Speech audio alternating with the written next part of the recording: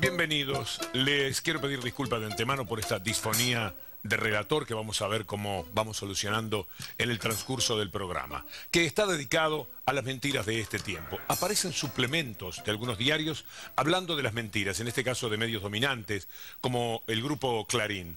Y es incansable la forma de manifestarse a través de un conflicto con la verdad muy profundo que tienen estos medios de comunicación. Se miente con respecto a cuentas en el extranjero, en la muerte eh, tan trágica del fiscal Nisman, o se miente en torno a un partido de fútbol como pudo haber sido el de la semana pasada de Boca con River. En todos los sentidos siempre, por una cuestión política, se está mintiendo, sin pudor, sin retractación en la mayoría de los casos, aunque hoy vamos a poderles presentar algo parecido a una retractación. Inmediatamente después de la pausa, a partir de Mentime que me gusta, el libro que hemos escrito con 50 capítulos que hablan de mentiras, que en realidad son eh, apenas un modesto porcentaje de la cantidad de mentiras que se han dicho en los últimos años, con ese eje vamos a afrontar nuestra bajada de línea de esta noche.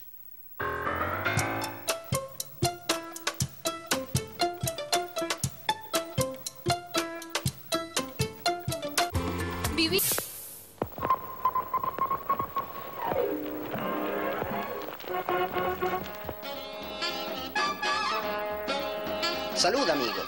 En esta oportunidad, el maestro Jaureche nos enseñará cómo los medios de comunicación se convirtieron en el cuarto poder y luego pasaron a ser el primero, constituido por las grandes empresas periodísticas, que son primero empresas y después prensa. Se trata de un negocio como cualquier otro, que para sostenerse debe ganar dinero vendiendo diarios rellenos de noticias y publicidad.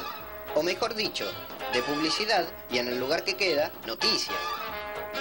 Así, el diario es un medio y no un fin, y la llamada libertad de prensa se transforma en una herramienta para ocultar intereses económicos, porque la prensa es libre solo en la medida que sirva a la empresa y no contraríe su ganancia.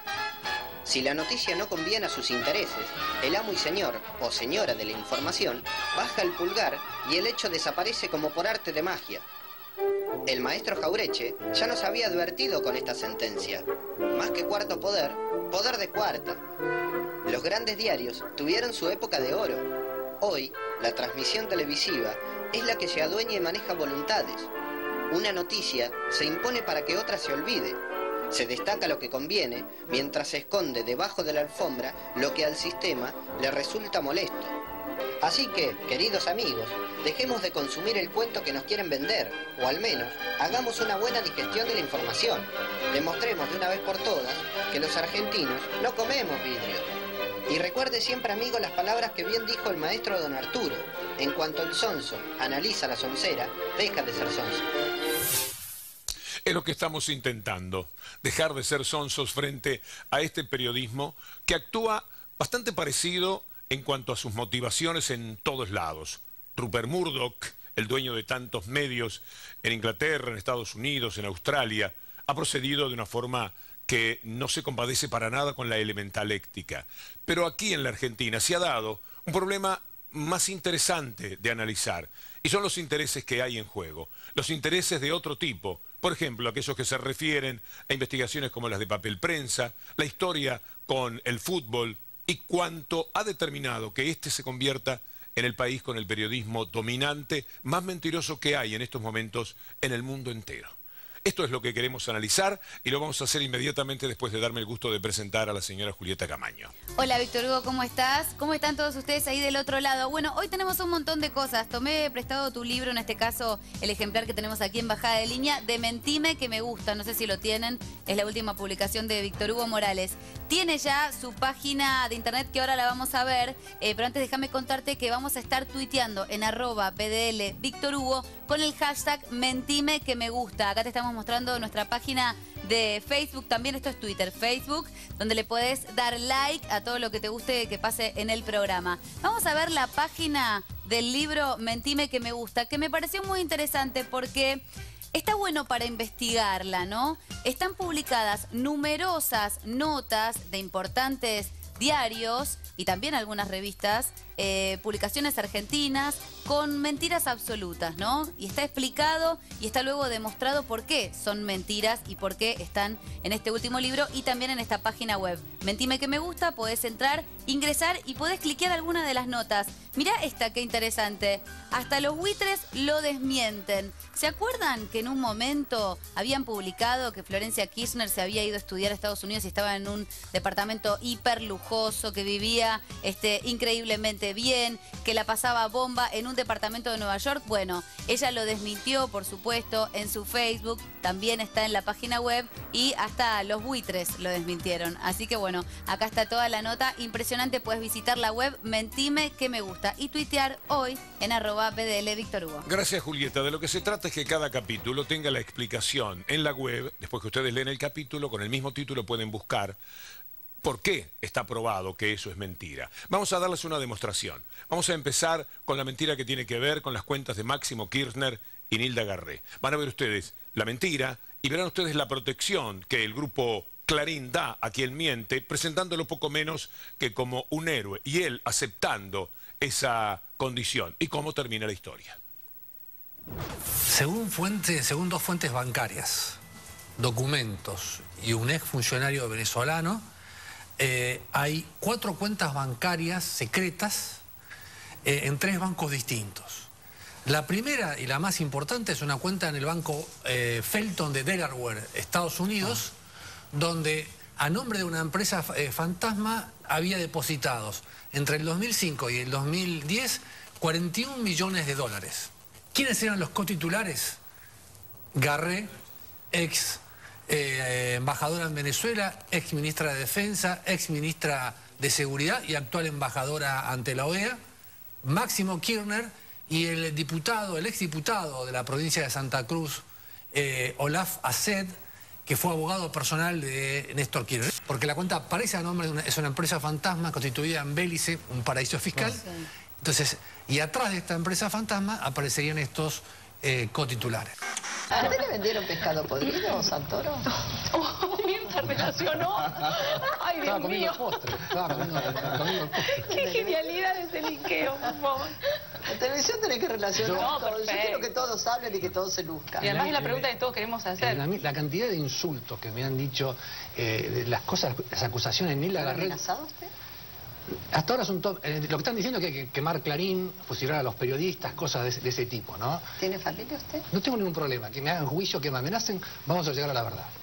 ¿Tiene hijos? Tengo cinco hijos, tres de mi primer matrimonio y dos de mi actual esposa. Su mujer actual.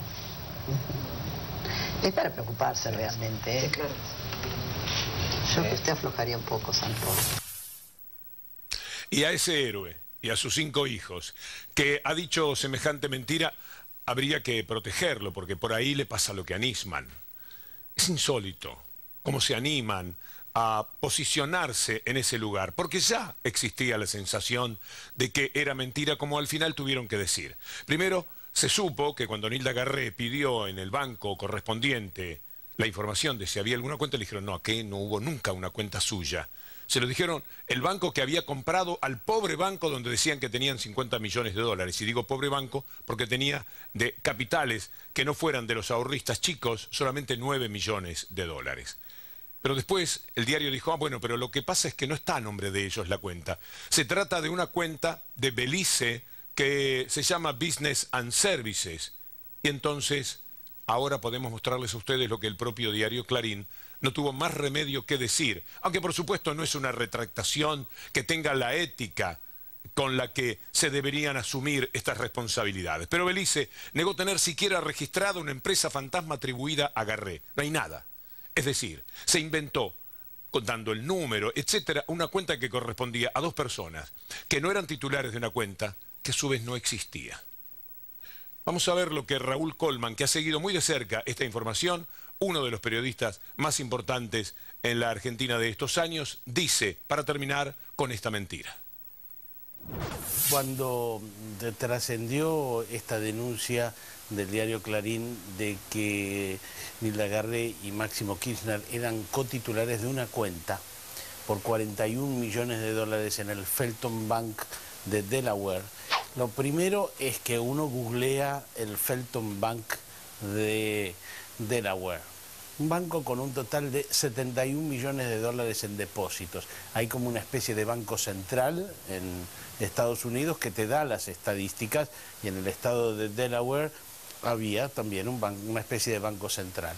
Un banco que tiene un total de 71 millones 70 y, siempre oscilaba entre 71 y 78 millones de dólares. Es imposible que tenga un cliente una cuenta con 41 millones, porque si ese cliente se va, tenés que cerrar el banco. Así que de entrada nomás ya parecía inverosímil. Me contacté con eh, Nilda Garré, que hoy es embajadora ante la OEA, y le pregunté que si había una constancia del banco diciendo que, ella no tenía cuenta. Ella justo había consultado con el banco, el banco tardó en responderle unos días y le envió una carta en la cual decía no hay ninguna cuenta a nombre de Nilda Garré. Esto lo publicamos a principios de abril en página 12. Entonces la respuesta del diario Clarín fue, no, mire, la cuenta no está a nombre de Nilda Garré y Máximo Kirchner, está a nombre de una empresa que se llama Business and Services, eh, radicada en Belice, una nación soberana que fue colonia inglesa, que queda al lado de Guatemala y de México. Entonces, el domingo pasado, lo que nosotros publicamos es una carta oficial del Estado de Belice, del registro de empresas de Belice, en la cual dice que no existe ninguna empresa que se llame Business and Services, que nunca fue registrada ninguna empresa con ese nombre en Belice. Y además, el banco Felton, que hoy está absorbido por otro banco que se llama CNB, eh, manda también una notificación diciendo que no tuvieron nunca ninguna cuenta de una empresa que se llame Business and Services. Es decir, por dos lados distintos tuvimos que no existe la tal empresa. Aquí más o menos se puede refutar, ustedes lo están sabiendo. Alguna radio, algún programa más. Pero esto llegó a 30 millones de personas por la posibilidad que ellos tienen de multiplicar los efectos de sus mentiras. Pero algo se puede hacer dentro de la Argentina. Se sabe que mienten cada vez más. Pero en el resto del mundo es muy difícil. Y esto es lo que hoy vamos a demostrar porque duele enormemente el daño que se le hace a la Argentina por parte de periodistas y políticos que juegan desde las mentiras de los medios de comunicación contra su propio país. Enseguida después de Julieta. Vamos a ver algo que tiene que ver, por supuesto, con lo que estás presentando hoy en Bajada de Línea, Víctor Hugo. Miren, esta es la página de Facebook de Cupre. Cupre es la primera cumbre de periodismo responsable. Así se llaman ellos, pertenecen a Ecuador y ya tienen muchísimos seguidores en las redes sociales. Ellos intentan dar un lugar para el debate y la discusión política en estos tiempos de cambio y justamente que podamos ver cuál es el rol del periodismo con tanta hecatombe cultural, política y demás. Vamos a ver ahora unos spots que publicaron, son más que interesantes, lo vemos. Cuando se descubrió que la información era un negocio, la verdad dejó de ser importante. Rizar Kapuscinski. Libertad de prensa no significa poder inventar cosas todos los días. Luis Ignacio Lula da Silva. Continuamos en el camino hacia un periodismo responsable en los nuevos tiempos. El tráfico de la ciudad se encuentra colapsado. Tener en cuenta vías alternas y rutas seguras para mejores.